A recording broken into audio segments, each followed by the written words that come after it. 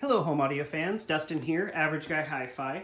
I just wanted to upload this video. I thought this would be something a little bit different. I'm a little bit speaker heavy right now. I've bought some pairs of speakers and some systems that I want to test for you guys. I'm still working on the editing. Got another meeting tomorrow um, with a friend of mine that does video editing. So I'll pick out software and all that type of stuff and then sit down and really learn it. But again, I wanted to kind of keep these reviews going to keep my own personal momentum um, going and also just to keep contributing because I know how important that is to um, kind of maintain subscribers and everything. So anyway, this is uh, kind of an idea I had. I wanted to, since I have five different brands of speakers in my house currently, I wanted to just run uh, Denon's Audyssey setup um, calibration microphone there for you and then show you guys how it ends up setting all the speakers and everything. So I felt like that would give you some information. I know that the, you know, the big DefTech is um, very efficient. So um, I've already gone through this once. They all sound totally different in the room.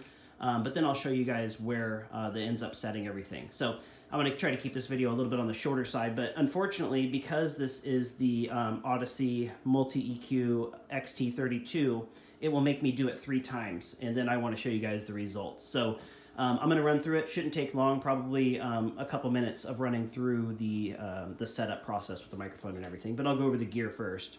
This is a Definitive Technology Mythos ST Super Tower with the powered subwoofers built into it.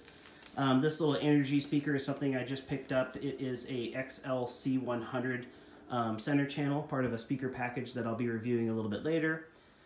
Uh, this right here is my personal uh, system that I'm currently using. I have a 5.1. This is an Aperion Audio 6T um, tower speaker. Uh, the subwoofer is not turned on. I felt like for simplicity of just showing you guys what I was trying to accomplish here, um, I would leave the subwoofer off. That right there is an RBH41SE that I just reviewed not too long ago. Um, this speaker is not turned on, but that is a Monitor Audio Radius uh, 270 HD tower that I brought in from my office that I use. Uh, and this over here is the Monitor Audio Radius HD 250 um, center channel. So I'll be reviewing those as well too. But anyway, I just wanted to kind of get you guys going um, and show you another video here that I thought would be interesting. And then I'll show you guys the test results. So if you've been through Audyssey, uh, you can kind of maybe fast forward through this part, but I'll just run the test tones. Um, if you haven't, these right here just kind of walks you through um, kind of, you want to make sure your room's quiet. You want to have a nice little flat surface for the microphone to sit on. Um, you want to connect the microphone to the AVR, obviously. It tells you that um, since this is the nicer version of the Audyssey that you have nine points if you wanted to. I'm just going to run three, um, and I'm going to leave the microphone in the same spot, so I don't want to mess with that because I want them all to um, basically just run through the system the way that it is, way sitting in place here, because that is the center of my room. These are all pretty um, equal distances apart from, uh, from the microphone here. And then it just tells you ear height, which that roughly is ear height right there. And then I'll kind of just pan through the pan through the test um, when the speakers are playing. But we'll just go ahead and start it off here.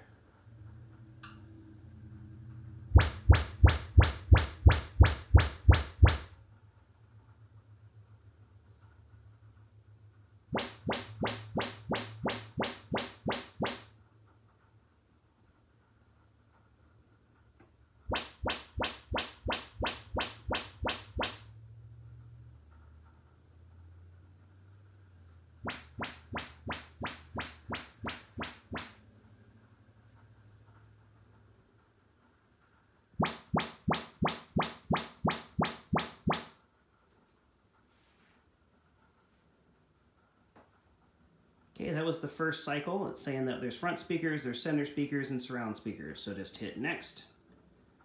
Um, it's saying place the microphone, th same thing. Basically what you want to do is keep the, the center position, whatever you use the microphone, leave it there. And then um, you can move it around, but no more than two feet away from the first position is kind of how they're recommending it. I'm leaving it in the same spot again, so I'll just hit continue.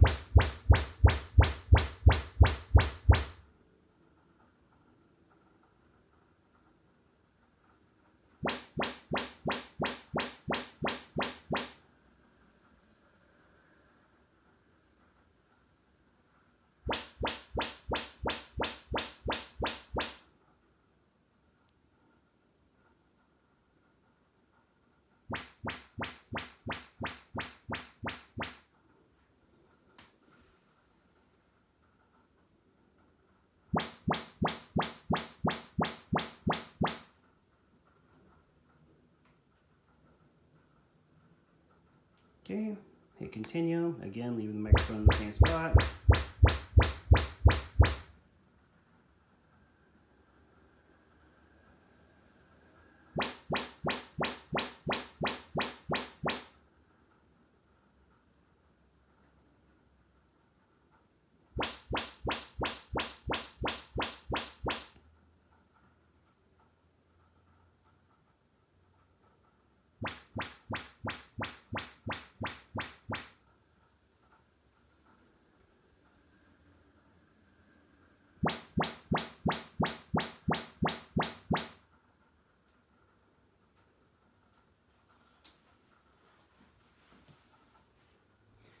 Okay, and again, it lets you kind of continue on if you want to keep doing different areas in the room that you want to do it. I'm just going to go complete for sake of length here. Um, Audyssey Dynamic EQ, I'm going to say no to that. Um, dynamic volume on, I'm going to keep that on no. And right now it's um, applying room corrections. So it's just kind of putting all that information that it just gathered up into the receiver so it knows how to set everything. And then as soon as it's done doing that, um, we'll be able to show you guys where it set the distances and the levels. The levels is kind of the main reason I wanted to do this video, just so you can kind of see what the difference is uh, between the different um, speakers and where the Denon thinks they should be.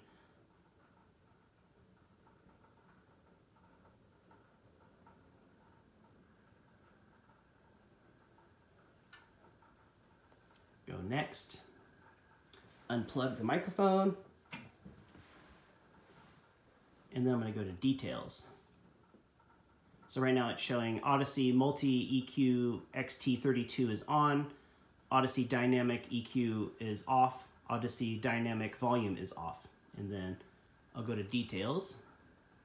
It set the front speakers to large, the center speaker to small, subwoofer to none, surround speakers to small.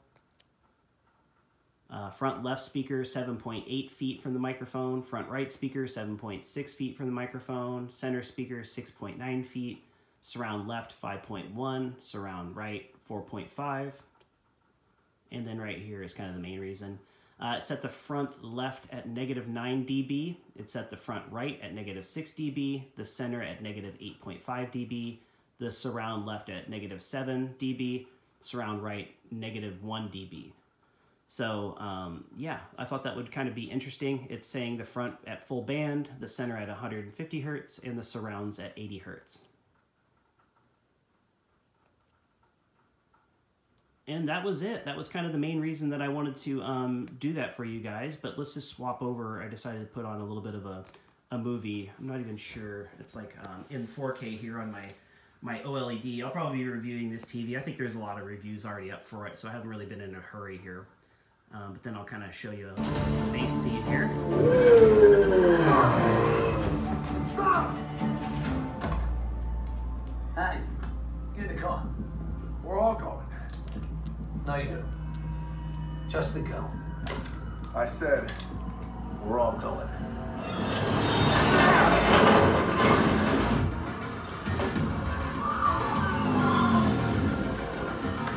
disable the car. I need the girl to line.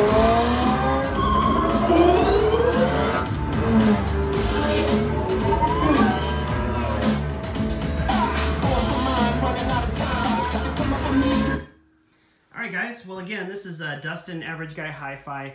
Um, I'm having issues with editing, so it's been slowing me down a little bit, but I have speakers. I've been buying the speakers, getting some good deals.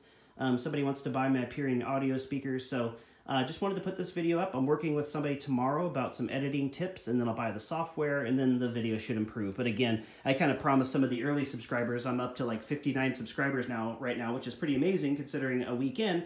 But I think the idea of the used audio market, kind of used speaker value, kind of resonated. So my plan is to upload a couple videos a week, and um, basically just go ahead and stay tuned. Again, Dustin, Average Guy Hi-Fi, thank you very much for watching my video, and I hope you guys are having a wonderful Thursday.